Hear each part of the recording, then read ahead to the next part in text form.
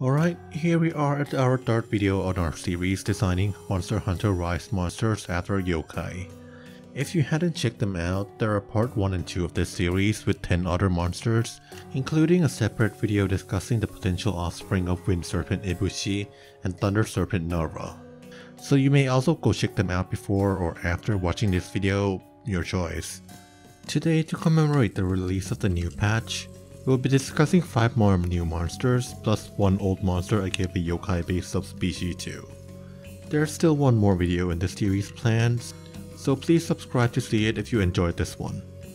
Now let's get into it, shall we? Tesso. Tesso is a were-rat, originally not a yokai but a monk named Raigo, whose blessing helped the emperor conceive a child after the emperor was concerned for his succession. For this thanks, the emperor promised to build a new building in Raigo's temple where he could train new monks. But Raigo's rival monks on another temple pulled their political strings, convincing the emperor to go back on his word to Raigo. In protest to this broken promise, Raigo goes on a hunger strike for 100 days until he died, his heart still brimming with rage both to the emperor and the rival temple. Shortly after, Raigo's vision appeared in the young prince's dream, and a few days later after that, the prince died, leaving the emperor without an heir once more.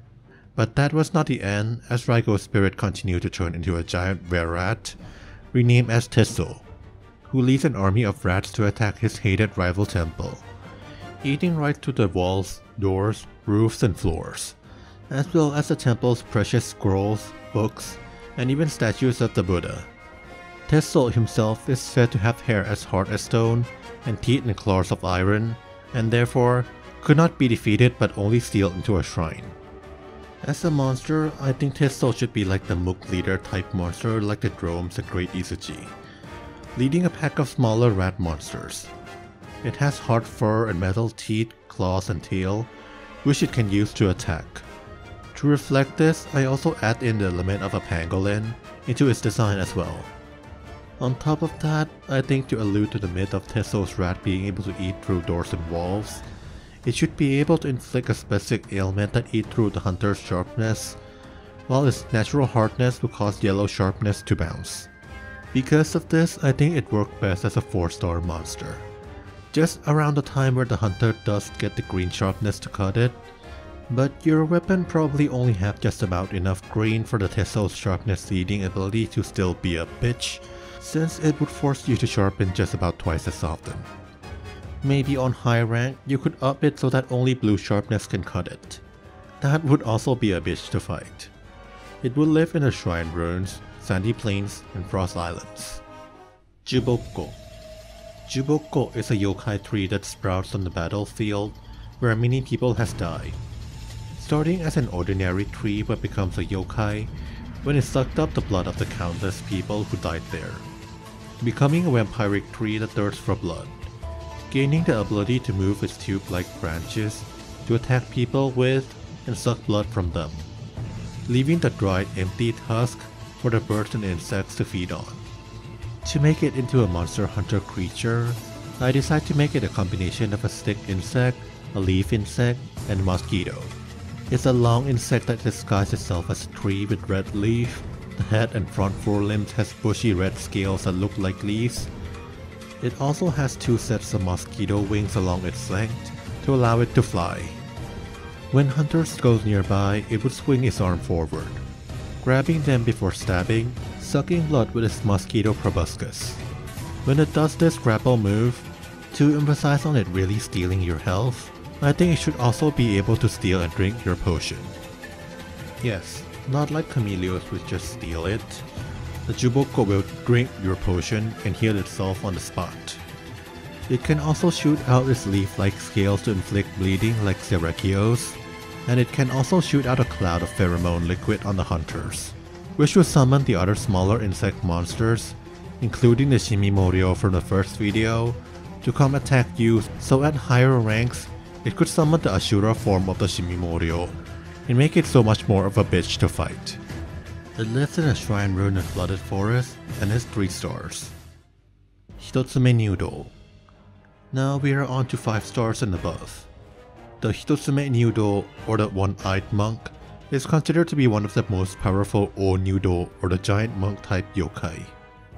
As his name says, he's a giant monk with one eye at the center of his face. He is dressed in luxurious robes and travels in palanquins carried by lesser demons, but can still very much outrun humans on his own feet.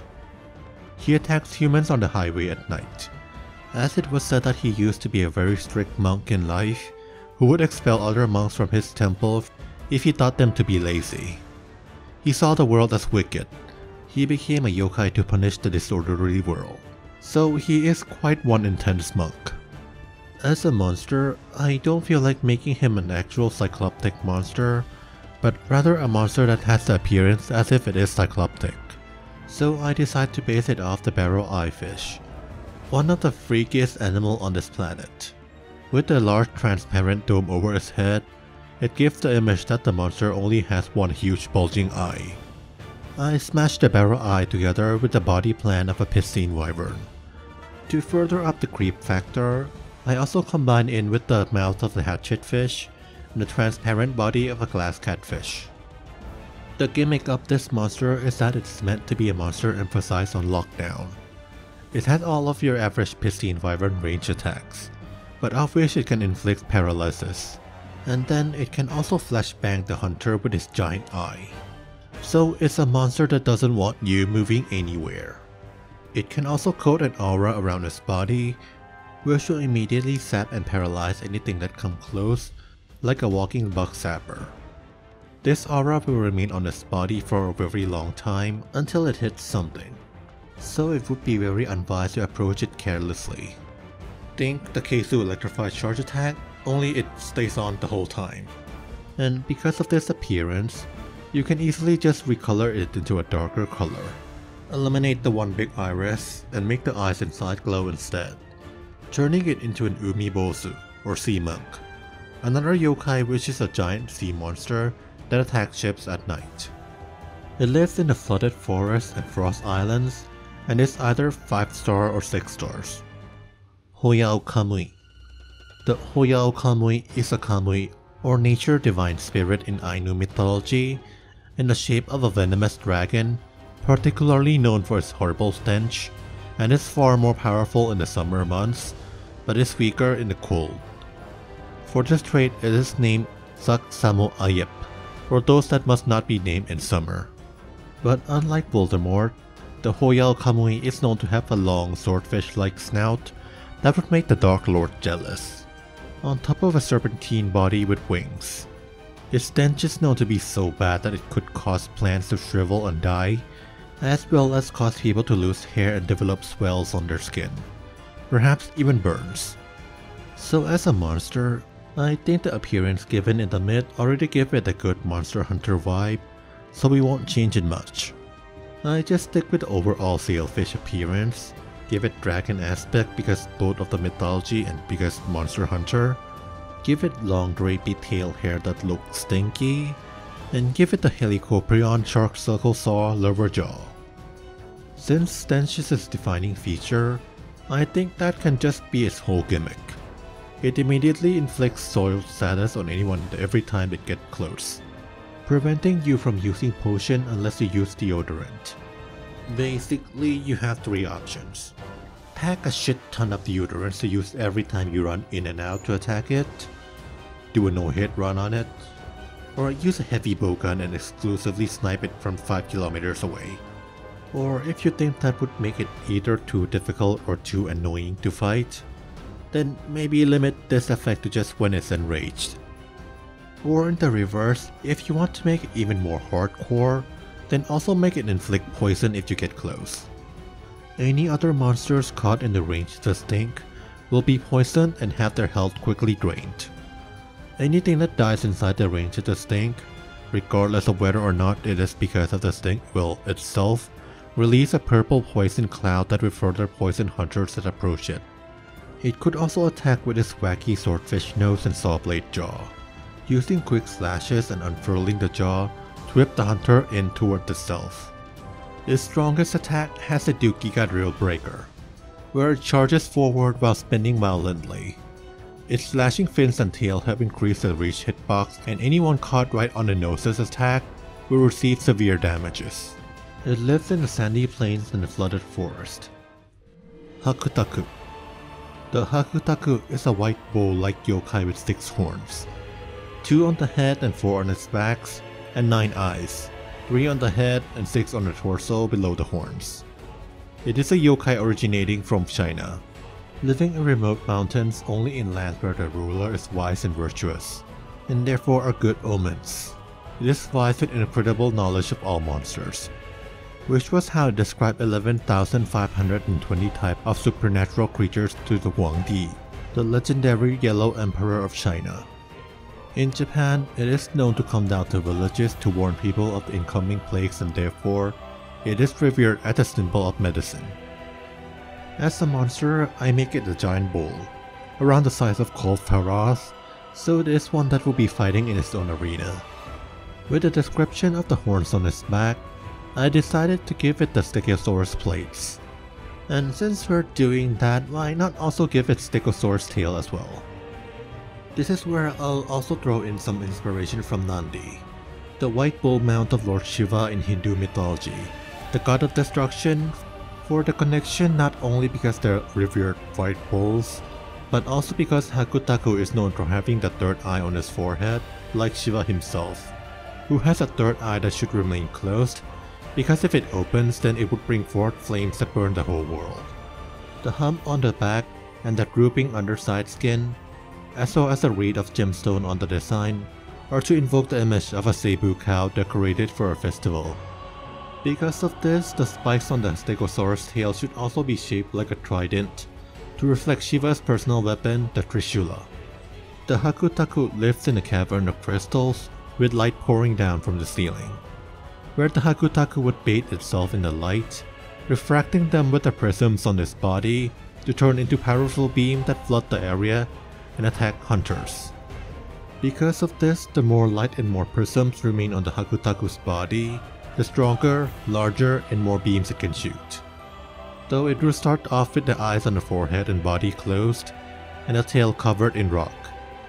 Because of this, it's gonna be really hard to fight at first, since all of its attacks are really powerful and has ridiculous hitbox, and to weaken it, you not only have to break the prism horns on Hakutaku itself, but also collapse the cave to get rid of the light source.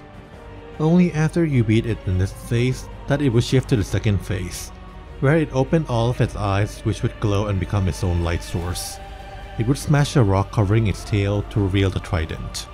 Essentially, the second phase is it channeling the power of Shiva to kill you. In this phase, the area will be littered with crystals and prisms all over the place. So instead, the Hakutaku will shoot its beam into the prisms around the area, using them as mirrors that will reflect and spread beams all around. And of course, if there are some horns on the Hakutaku's body that remains unbroken, it can also use those to reflect beams at the hunters. Yato no Kami This is a plus one I wanted to make since it's not a full original new monster but rather giving a yokai motif to a subspecies of an existing monster. And I don't have enough ideas to be making another whole video out of this. The Yato no Kami is a malevolent snake deity appearing in the rice field its name translating to the Ultra Edgelord meaning of God of the Night Sword. It is rumored to bring familial extermination to anyone who saw it, but was eventually killed by a man clearing the field, where a spirit is enshrined and banished into the mountains. Appearance-wise, it is a snake with a sword coming out of its face, which is why we'll be making it as Seregios' water elemental subspecies. Obviously, it has all of Seregios' moves, but with added effects. If the blades it throws out land in the water, it will release a constant pulse stirring and splashing the water around, carrying tiny shards chipped from the blade with the droplets that will assault and inflict bleed on the hunters as they come nearby. So it's a Seregios that kinda borrows the exploding scale trap strategy from Najarala, but can only use this in the water and also borrowing from Acidic Glavenus in being the Katana Weave version, this Seregios also has several more moves, which it slashes with all the blades all over its body, mostly to precisely knock the hunters into the splash traps it sets up. Because of this, you can also call him Steve the Weeb. Alright, so that's a 5 plus 1 ideas for today. If you enjoyed it, please like, comment, and subscribe. If you like idea videos like these, I have two other series, one pitching stories of my own novels, and one novel premise free giveaway so please check them out if you are interested. Or if you're interested in seeing the next 5 monsters next time. Please check out the previous videos if you hadn't already done so. And please also check out my series on why light novels are stereotypically bad, how this is damaging to the anime industry, and what we can do to change it. Thank you for watching and see you next time.